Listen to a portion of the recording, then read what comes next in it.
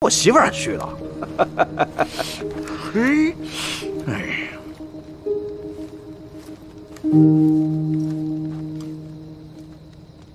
你仔细想想，有什么人有意接近过你，或是你做了什么事，可能露了身份？没有啊。哦，对了，有一个节度副使，姓侯的将军，他饭前来伊索，倒是没说什么，只是眼神一直往我身上瞟，应该是怀疑我的身份。那吴琛呢？吴琛没什么。我们撤了赌局以后，他就是跟齐老头去检查了一下药材就走了，没把我当回事儿。我打听过他，他平日里就是料理一些军需类的东西，有时候给军里起草一些文书，没有调动军队的权利，军中将士也很少直接跟他打交道，对他印象不深。那侯斌离开之后，你可在军中吃过或者喝过什么？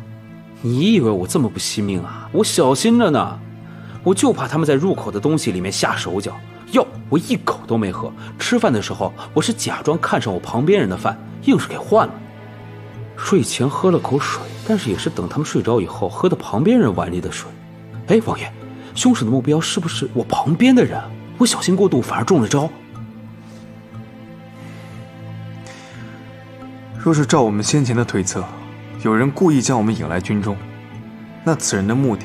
应该是想将我们于此一举伏杀，可我们既然已来到军中，他又怎么还会节外生枝的对无关的人下手？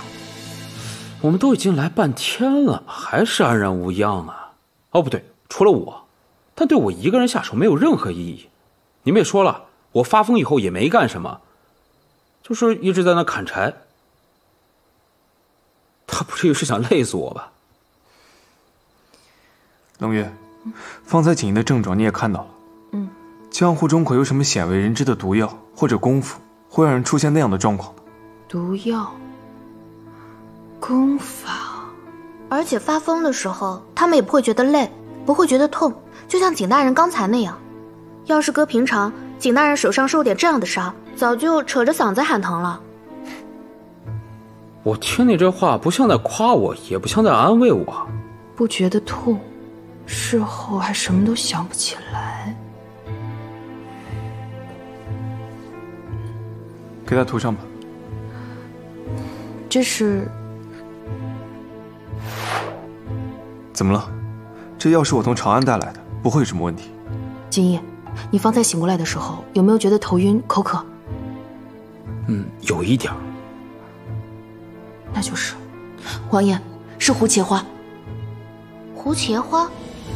胡茄花是止疼的良药，有何不妥吗？这胡茄花确实是止痛的良药，但价值不菲，用得起它的人和会用它的人都不多。一般入药都是用它的花，但是胡茄花这种东西全株都是有毒的，籽是最毒的，入口会有一丝甜味，一般人服上几颗就会产生幻觉。不过若是中毒不深，幻觉过后就跟没事人一样，诊脉是诊不出来的。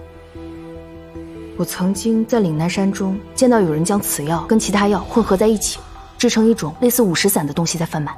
幻觉，也就是说，中了毒的人之所以状若癫狂，是因为看到了一些幻想。是。如果中毒的人看到的幻想因人而异，各不相同，那就能解释为什么会有如此迥异的发光方式。这胡切花贵重且难得，此毒恐怕是李章提供的。冷姑娘。如果人一旦中了这毒，是会立即发作，还是会等上一阵再发作？这要看用法和用量。如果是服用了胡茄花籽，那么最慢一盏茶的功夫也会发作的。那要是这样的话，这毒一定不是下在吃的东西里的。那三名死者胃里的食物残渣剩下的不多，他们吃完饭应该是有一阵子了，肯定不是在饭后一盏茶的功夫。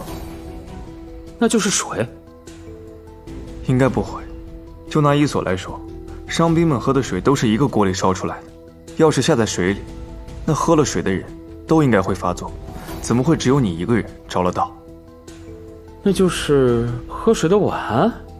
哎呦，我们在这猜来猜去也不知道到底是为什么，还不如我回伊索里面再探查探查。不行，有人想要你死，你还回去？王爷，我觉得锦衣在伊索里打探的差不多了，是时候让他撤回来了吧。你担心我是我担心你。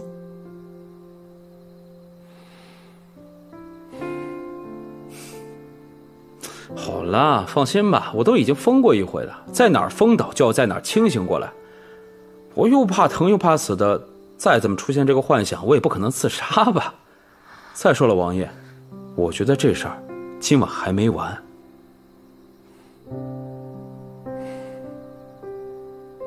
那你要多加小心。我们都多加小心。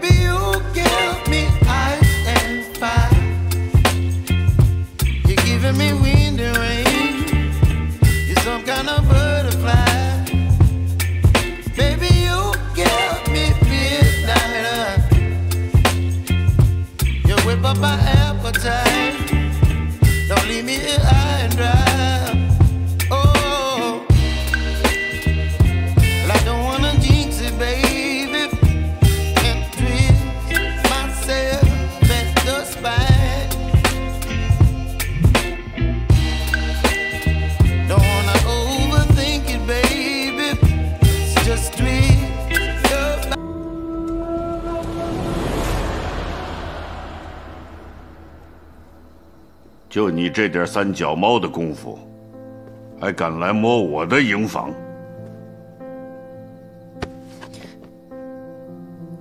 不自量力！你知道我动过这个？废话！如果连你这点小把戏我都看不出来，那我凭什么在这黔中道指挥这千军万马？我节度使的营地不早被细作渗透成筛子了？那这些信，这些信是不是我故意放在这儿，等你来发现的？怎么？你没把信给安郡王看呢？安郡王要是连这都分辨不了，那他根本就没有能力统领三法司。为什么？什么为什么？